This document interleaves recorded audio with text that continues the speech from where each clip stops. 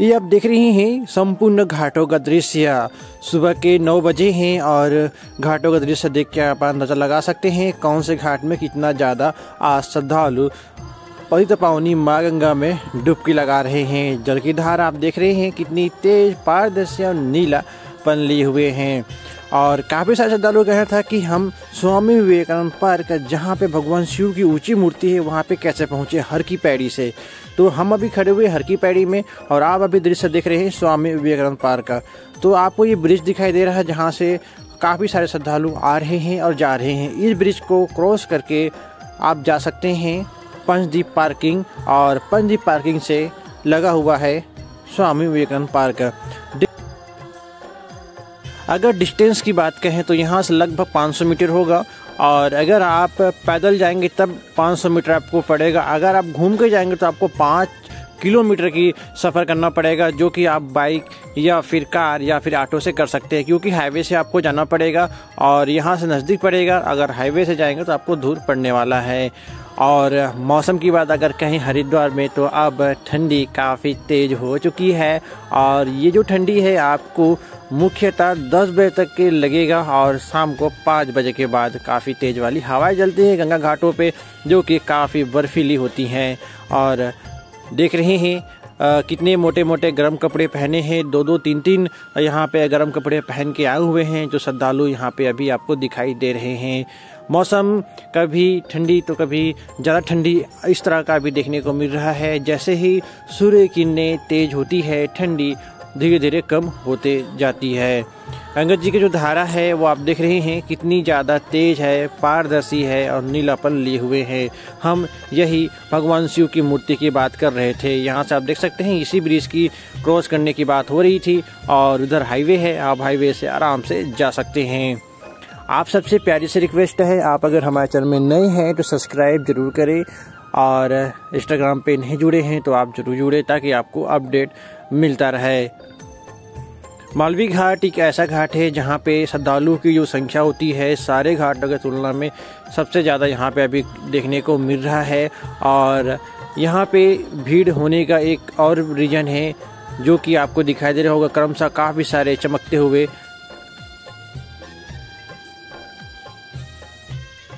सारे changing room बने हुए हैं यहाँ पे, और यहाँ पे हमारे माता और बहनों के लिए काफ़ी अच्छी सुविधा मिलती है। यहाँ पे भीड़ सबसे ज़्यादा देखने को मिलता है। अब हम चल रहे हैं हर की पैड़ी प्रमुख घाट के पास और घाट के पास जाते ही आपको दिखेगा पूरी ओर का दृश्य। आप देख रहे हैं, सबसे बड़ा घाट का दृश्य आप अभी और यहाँ पे श्रद्धालु की संख्या किस तरह का है। हर की पैड़ी के पास काफ़ी सारे होटल और धर्मशाला है, जो कि अभी आप आएँगे तो आपको ज़्यादा भीड़ नहीं देखने को मिलेगा। लेकिन जब आप सीज़न में आते हैं, तब आप बुकिंग करा के आए। देख रहे हैं, काफ़ी सारे लोग यहाँ पे बैठे हुए हैं और धूप ले रहे हैं। अभी जो श्रद्धालु देखने को मिल रहा है भीड़, वो है सबसे ज़्यादा नई घाट पे। नई घाट में अस्थि विसर्जन, मुंडन की विधि और पितरों को जल तर्पण किया जा रहा है। काफ़ी भीड़ है वहाँ पे और अधिकतर आपको घाटों में यही सारा विधि संपन्न कराते हुए ब्राह्मण भी दिखाई देंगे।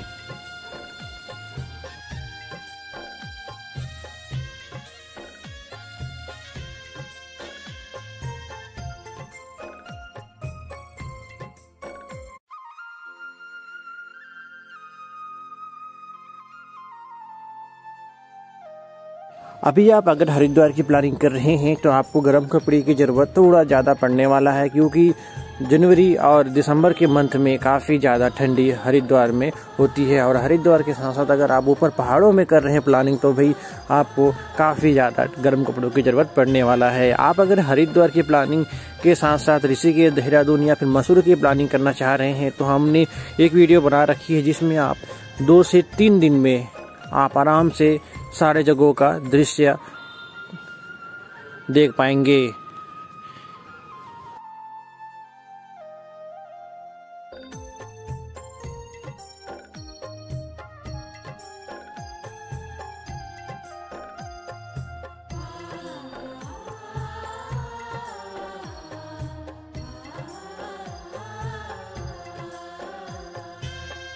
ये जो ब्रिज है आप देख रहे हैं, ये है धनुष ब्रिज, जो कि सबसे प्रमुख ब्रिजों में से एक है। संजू सेतु से होकर सीधे ऋषिकेश बाईपास की ओर जाता है और यहाँ पे श्रद्धालुओं की जो भीड़ होती है, वो काफ़ी ज़्यादा होती है।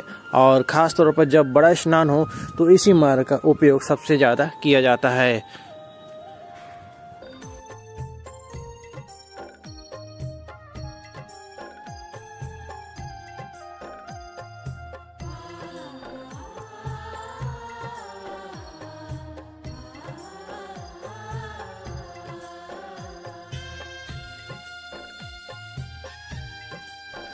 काफ़ी सारे होटल और धर्मशाला का वीडियो हमने बना रखा है।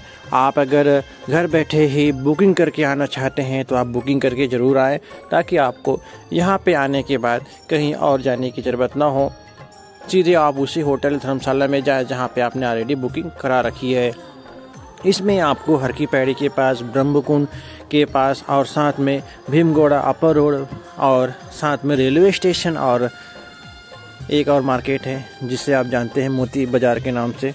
वहाँ पे भी आपको मिल जाएगा।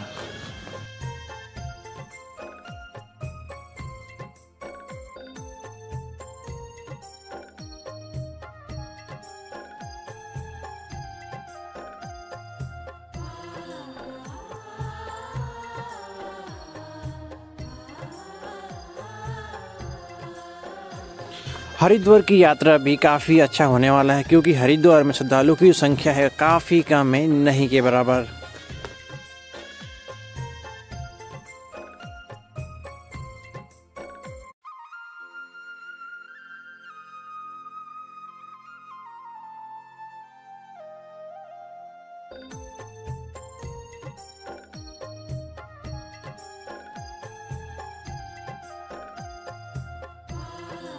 अगर आप सुबह सुबह स्नान करना चाह रहे हैं तो आप अगर बच्चे या बुज़ुर्ग आपके साथ हैं तो आप बिल्कुल भी सुबह स्नान ना करें, क्योंकि यहाँ पे जो सर्द हवाएँ हैं, काफ़ी ज़्यादा बर्फीली होती हैं, काफ़ी तेज़ होती हैं, और गंगा घाट में आके अगर दो बजे भी आप दोपहर के खड़े होंगे तो आपको बर्फीली हवाएँ ही अभी मिलेगी। और ये जो दृश्य देख रहे हैं आप, ये है ब्रह्म कुंड जहाँ पे श्रद्धालुओं की जो संख्या होती है, हमेशा होती है। और ख़ास तौर पर कोई अगर बड़ा स्नान हो तो यहाँ पे पैर रखने का भी जगह नहीं होता। ऐसे हम आपको अभी सारे घाटों का दृश्य दिखा चुके हैं, जो कि हर की पैड़ी ब्रह्म कुंड के आसपास है।